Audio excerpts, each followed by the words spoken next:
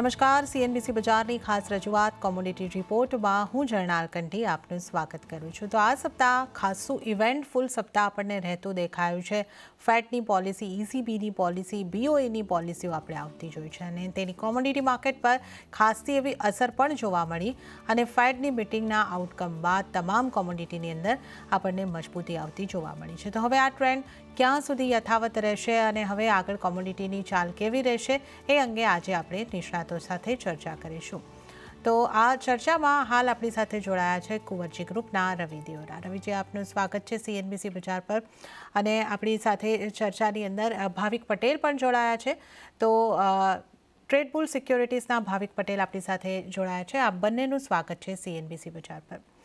તો ભાવિકજી, જે રીતે આપણે અહીં આગળથી વાત કરી કે પોલિસીઓ આપણને આવતી દેખાય છે અને પોલિસી પછી ખાસી એવી ઇમ્પેક્ટ પણ આપણને આવતી દેખાય. મુખ્ય જો ફેડની પોલિસીની આપણે વાત કરીએ આ વખતે તો જે પ્રમાણે આશા હતી, એક પોઝ અને ત્યારબાદ ત્રણ રેટ હાઇકની અહીં આગળથી વાત કરવામાં આવી છે, સંકેતો આપવામાં આવ્યા છે. અને એનું એક નીજક રિએક્શન પણ આપણે આવતા જોયું ડોલર ઇન્ડેક્સની અંદર નરમાશ આવી બોન્ડ yieldની અંદર પણ નરમાશ આવતી જોવા મળી. તો કઈ રીતે તમે આ પોલિસીને રીડ કરી રહ્યા છો? કઈ રીતની ઇમ્પેક્ટ રહેશે આપણી ડોલર ઇન્ડેક્સની ઉપર કરન્સી ઉપર અને બોન્ડ yield ઉપર? ગુડ મોર્નિંગ જર્નાજી ડોલર ઇન્ડેક્સ પર જોઈએ તો ઇનફેક્ટ જે ફેડે જે ન્યુટ્રલ ટોનમાંથી ડોવિશ ટોન આપ્યું છે. ઇનફેક્ટ એ એ ઘણું માઇન્ડ ચેન્જિંગ છે, કારણ કે એના લીધે આપણે જોઈશું કે આઈ થિંક બે હજાર ચોવીસમાં સોનું ચાંદી જે છે, એમાં ફ્રેશ ઓલ ટાઈમ હાઈ થશે. અને ડોલર ઇન્ડેક્સની વાત કરીએ તો આપણે જોયું કે ડોલર ઇન્ડેક્સ નિયરલી આ ઇમ્પેક્ટ મીટિંગ પછી એક પર્સન્ટનું કરેક્શન જોવા મળ્યું હતું ને? આઈ થિંક મને લાગે છે કે હવે અહીંયાથી ડોલર ઇન્ડેક્સ એકસો બેથી નીચે પણ જઈ શકે છે. બે કારણ છે. એક તો ઈસીબી અને જે બેંક ઓફ ઇંગ્લેન્ડ છે એ લોકોએ વ્યૂ રાખ્યો છે કે એ લોકો રેટ હાઇક જે છે એટલીસ્ટ જે high rate interest rate environment છે કન્ટિન્યુ જ રાખશે. એટલે એના લીધે એ લોકોની કરન્સી સ્ટ્રોંગ થશે અને એની સામે ડોલર જે છે વીક થશે. અને next year Fed in fact rate cut કરવાની વાત ચાલી રહી છે, એટલે એના લીધે પણ ડોલર ઇન્ડેક્સમાં વીકનેસ જોવા મળશે અને ટ્રેઝરીમાં તો આઈ થિંક આ જે ઇફેક્ટ આવી છે, એના લીધે આપણે એટલીસ્ટ કોમોડિટી ક્લાસ અને ઇક્વિટી ક્લાસ બેમાં આપણે તેજી જ જોવા મળશે. આઈ થિંક બે હજાર ત્રેવીસમાં જે હાઈ ઇન્ટરેસ્ટ રેટ એન્વાયરમેન્ટ હતું, એના લીધે જ આપણે જોઈ રહ્યા હતા કે ગોલ્ડ ને સિલ્વર હતું, એટલું વધારે ઉપર નહોતું જઈ રહ્યું બટ તે છતાં પણ એટલે સારું એવું આપણને જોવા મળ્યું છે કે બે હજાર ત્રેવીસમાં રિટર્ન જોવા મળ્યું છે. આઈ થિંક નેક્સ્ટ યરમાં ડોલર ઇન્ડેક્સ અને ટ્રેઝરી યીલ્ડ છે, એ મને લાગે છે કે નીચે જ જશે અને એની સામે આપણો રૂપિયો છે. એ મે બી થોડોક જે વીક થઈ શકે છે બટ આરબીઆઈ સારું એવું પકડી રાખ્યું છે રૂપિયો એટલે eighty three fifty eighty three સિક્સટીની નીચે નથી જઈ રહ્યું. એટલે મને લાગે છે કે એટલીસ્ટ હવે આપણો રૂપિયો જે છે એ પણ ટોપ અપ થઈ ગયો છે. એટી ફોર ઉપર જાય એવું લાગી નથી રહ્યું. મે બી નેક્સ્ટ યર ફરીથી એટી થ્રીથી એટી ટુની રૂપિયો સુધી આવી શકે છે. બટ નેક્સ્ટ યર લાગે છે કે ડોલર ઇન્ડેક્સ ને ટ્રેઝરી છે એ વીક જ થશે. ઓકે, તો અહીંયા આગળથી આપણે ખાસ કરીને ડોલર ઇન્ડેક્સની વાત કરી છે, રૂપિયા પર એની ઇમ્પેક્ટની વાત કરી છે અને ટ્રેઝરી ઇલ્ડની પણ અહીંયા આગળથી વાત કરી છે. રવિજી, આપની પાસેથી પણ અહીંયા આગળથી ખાસ એ સમજવું હતું કે આપણે ત્રણ સેન્ટ્રલ બેંકની પોલિસીઓ આવતા જોઈ. ફેટ તરફથી આપણને એક ડોવિસ સ્ટોન જરૂરથી દેખાયો, પરંતુ બેંક ઓફ ઇન્ડલેન્ડ અને ઈસીબી તરફથી એ રીતનું નથી દેખાઈ રહી. તો ફેડનો રૂખ આખો અલગ પડી રહ્યો છે. બાકીની સેન્ટ્રલ બેન્કો કરતાં અને તમે કઈ રીતે જોઈ રહ્યા છો? ડેફિનેટલી ઘણા ટાઈમથી આપણે ચર્ચા થઈ હતી કે અરાઉન્ડ જે સેકન્ડ હાફ છે, ત્યાંથી ફેડનું રવ્યો ચેન્જ થશે. અને એ એક્સપેક્ટેડ હતું અને એમને પણ એમને એકવાર જ્યારે પોલિસીના કમેન્ટ્સ ચાલી રહ્યા હતા એ પોલિસીના કમેન્ટ્સમાં એમને બોલવું પડ્યું હતું કે એ કોઈ પોલિટિકલ ઇન્ટરવેન્શન કે ઇલેક્શનના કંઈ લઈને એ લોકો અત્યારે પોતાનું આઉટલુક ચેન્જ નથી કર્યું. એ લોકો ઇન્ફ્લેશનને લઈને પોતાનું આઉટલુક ચેન્જ કર્યું છે. હાલાકી બેઝિક એવું લાગી રહ્યું છે કે માર્કેટ પણ એવું ફોકસ કરી રહ્યું હતું કે જેવું યુએસ ઇલેક્શન નજીક આવશે, કારણ કે યુએસ એટલી મોટી ઇકોનોમી છે અને કરીબન એટલી મોટી ઇકોનોમીમાં કોઈ પણ ફેક્ટરનું ડિસ્કાઉન્ટિંગ કે પ્રીમિયમ આવતા છ સાત મહિના લાગે, એટલે આ એક મોટું એમને આવતા વર્ષની રણનીતિ નક્કી કરી લીધી છે કે ઇન્ફ્લેશનની સિચ્યુએશનને થોડું ડવિશ ટોન આપી અને સાથે ગ્રોથને કન્સર્ન લઈ અને એ લોકોએ જે ફેડ છે એના મેમ્બર્સે આ વખતે એવું ડિસાઇડ કર્યું છે કે ત્રણ રેટ કટ કદાચ આગળના વર્ષમાં જોવા મળે. હાલાકી ડોટ પ્લોટ જો તમે જોશો, એમાં ત્રણ રેટ કટ છે, પરંતુ જે માર્કેટ ડિસ્કાઉન્ટ કરી રહ્યું છે, જે ટ્રેઝરીયલ ડિસ્કાઉન્ટ કરી રહી છે, એ કરીબન વન થર્ટી ફાઈવ બેસિસ પોઈન્ટથી વન ફિફ્ટી બેસિસ પોઈન્ટના રેટ કટની અસર આવતા વર્ષે જોઈ રહી છે.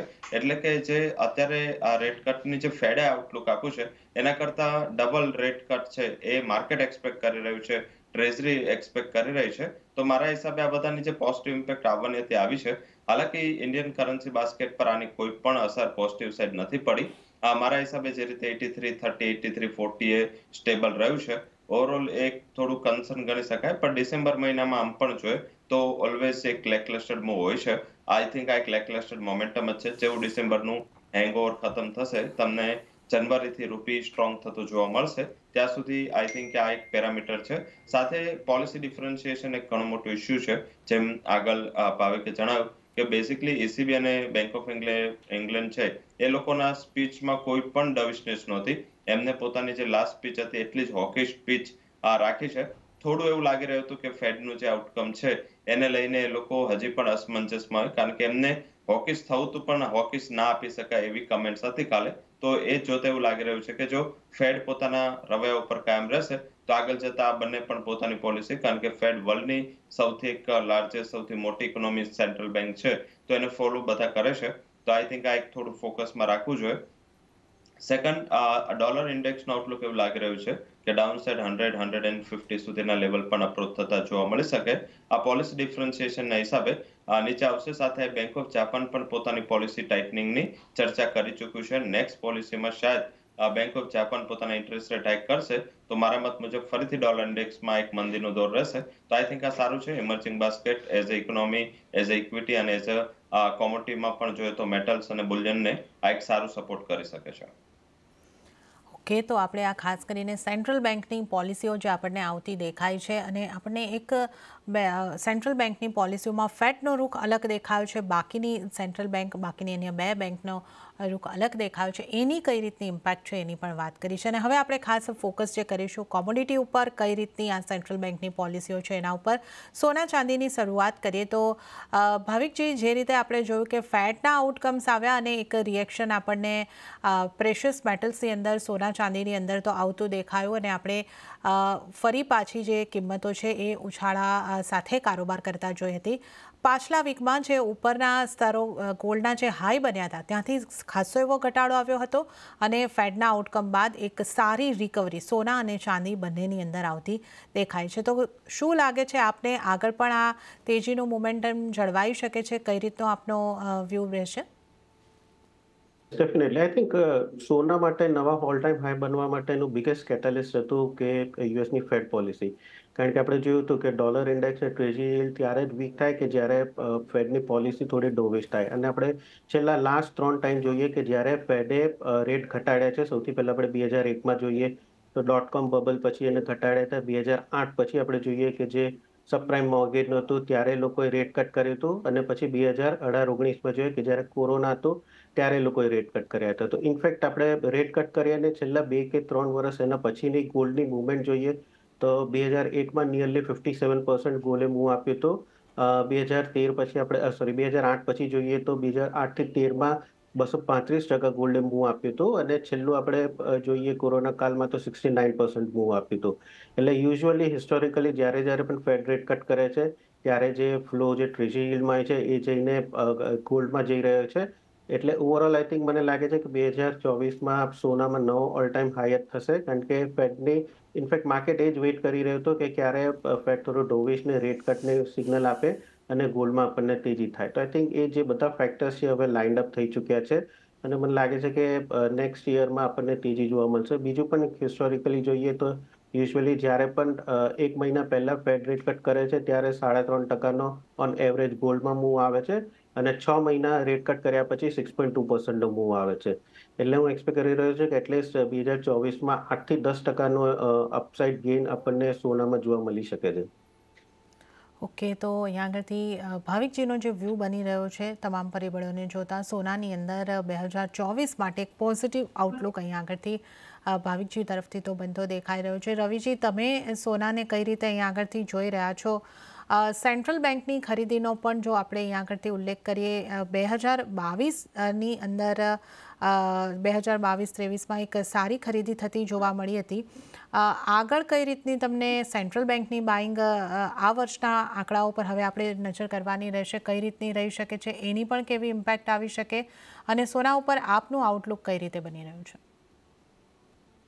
સોનામાં ડેફિનેટલી આ એક મીન્સ કે ડોલર ઇન્ડેક્સની જે મંદી છે, એનો એક પોઝિટિવ અસર રહેશે. આઈ થિંક કે જે ટ્રેડ મીન્સ કે બોન્ડ યીલ્ડ્સ નીચે છે, એનો પણ એક અસર રહેશે. હાલાકી એક ફેક્ટર ખાલી એક માઇન્ડમાં રાખવું જોઈએ કે આ ઘણીવાર શું હોય છે કે સોનું છે, એ ચાલ પોઝિટિવ લે છે. હાલાકી અંડર પરફોર્મન્સ ને આઉટ પરફોર્મન્સ વર્સિસ સિલ્વર એ ઘણું ઇમ્પોર્ટન્ટ હોય છે. સોનું ડેફિનેટલી પોઝિટિવ છે. આઈ થિંક જે સિક્સટી ટુ થાઉઝન્ડ ઉપરના લેવલ સસ્ટેન રહ્યા છે. અને આટલી સારી એવી તેજી અત્યારે સોનામાં આપી છે. અને બેઝિક આ વર્ષની જોઈએ તો તેર ટકા ઉપરની મૂવ સોનામાં આવી ગઈ છે અને અત્યારે સપ્તાહમાં પણ દોઢેક ટકા સુધીની તેજી છે. હવે આગળના ફેક્ટર્સ થોડા ઇમ્પોર્ટન્ટ રહેશે. નિયર ટાઈમમાં કન્સોલિડેશન રહેશે. સોનામાં થોડી સેફ હેવન અપીલ છે, દૂર થતી જોવા મળશે. એનું એક થોડું ધ્યાન રાખવું જોઈએ.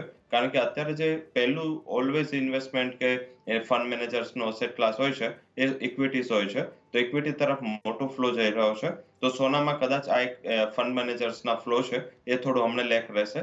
પણ સેકન્ડ હાફ જ્યારે ઇક્વિટીના વેલ્યુએશન્સ થોડા રીચ થશે, ત્યારે મારા હિસાબે જનવરી એન્ડ ઓનવર્સ ફરવરી ઓનવર્સ તમને સોનામાં ફરીથી તેજીનું સારું ટ્રેક્શન આવતું જોવા મળે અને લુનાર પણ એ ટાઈમે હશે, તો આઈ થિંક આ એક કોરિલેશન જોવું જોઈએ. આ સેકન્ડ ચાંદી છે.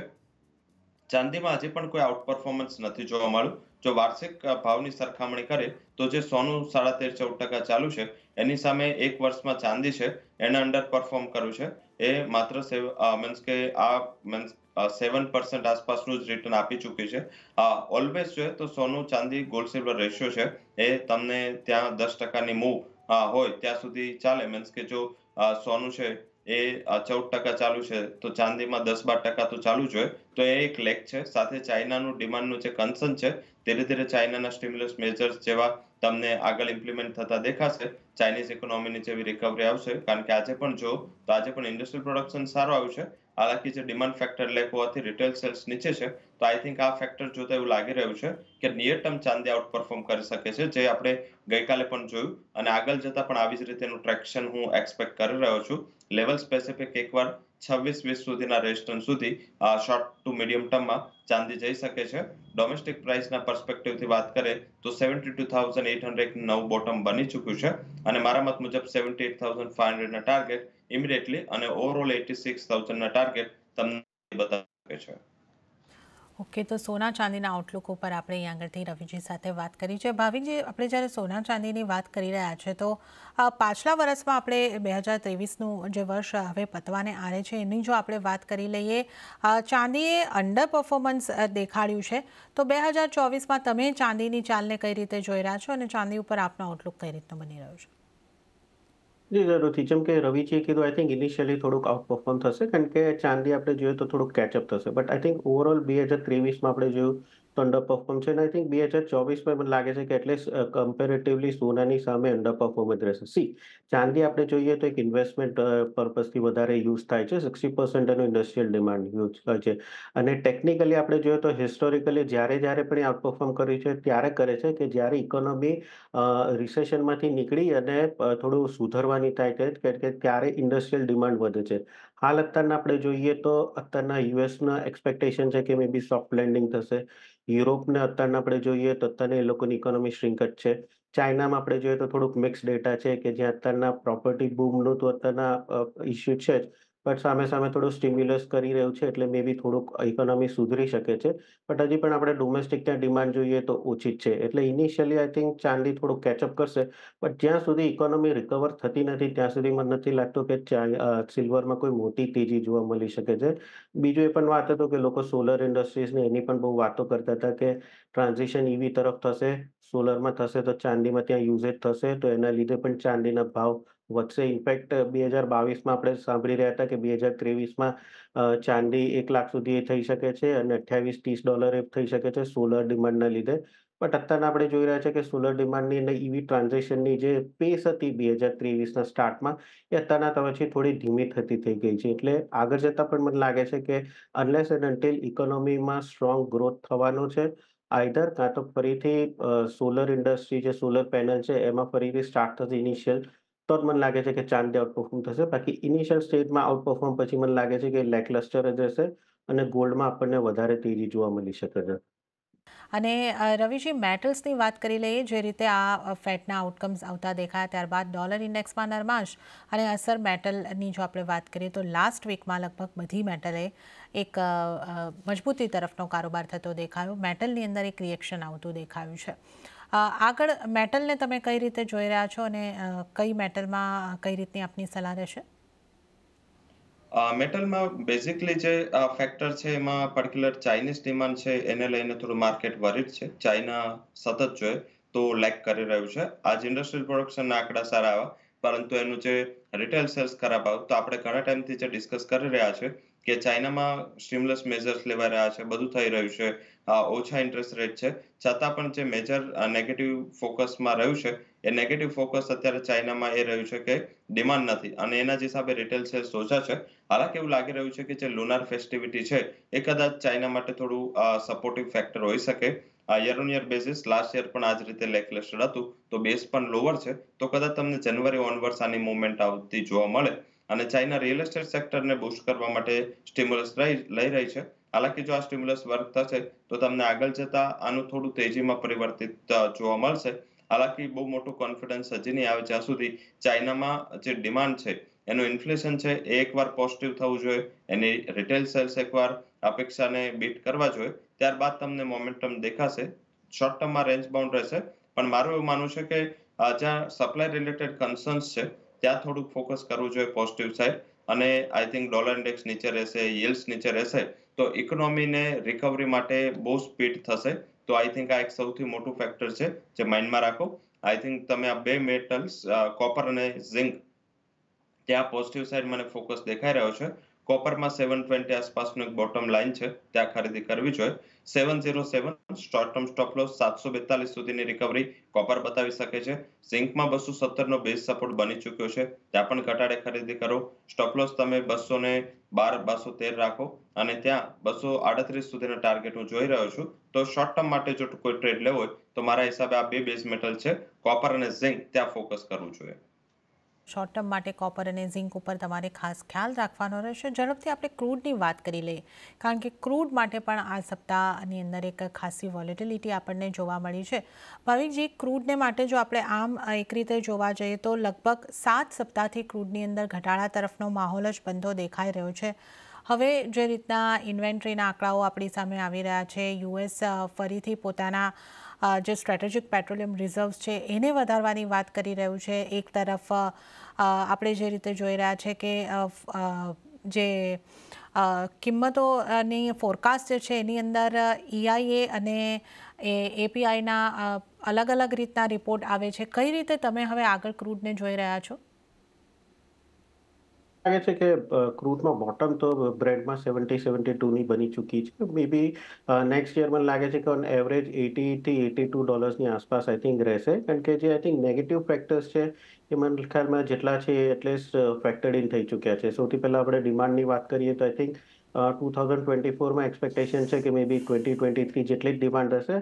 કાં તો મે બી સ્લાઇટ વધારી શકાશે, કારણ કે હવે જે રીતે એટલીસ્ટ યુએસ ફેડ જે છે, એ ઇન્ટરેસ્ટ રેટ કટ કરી રહી છે. આગળ જતાં ઇસીબી ને બેંક ઓફ ઇંગ્લેન્ડ એ લોકોએ લેટ રેટ હાઇક કરી હતી. એ લોકો પણ બે હજાર ચોવીસમાં એટલીસ્ટ થોડુંક તો રેટ કટ કરશે. એટલે એટલીસ્ટ એના લીધે પણ જે ઇકોનોમી જે છે સ્લાઇટ મૂવ થશે.